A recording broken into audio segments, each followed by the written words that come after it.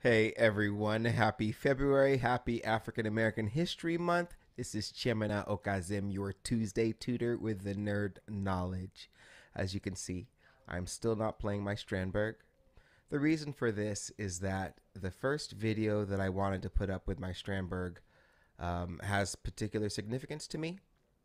I want to dedicate it to a teacher that is no longer here, and I wish he were here to celebrate that moment my injury put me back a little bit because when I put the video out, I want it to be perfect.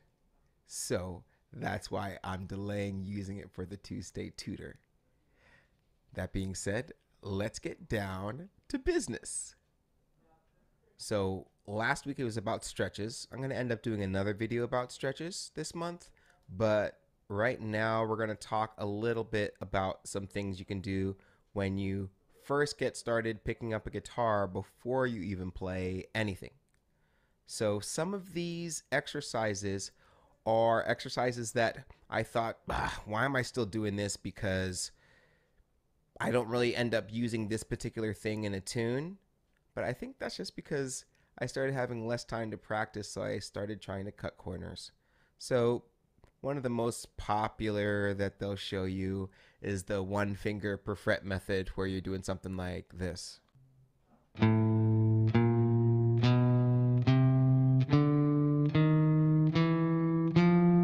so on, right? So you want to take this idea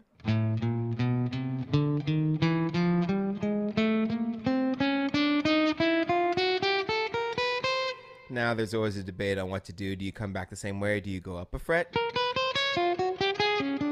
Right?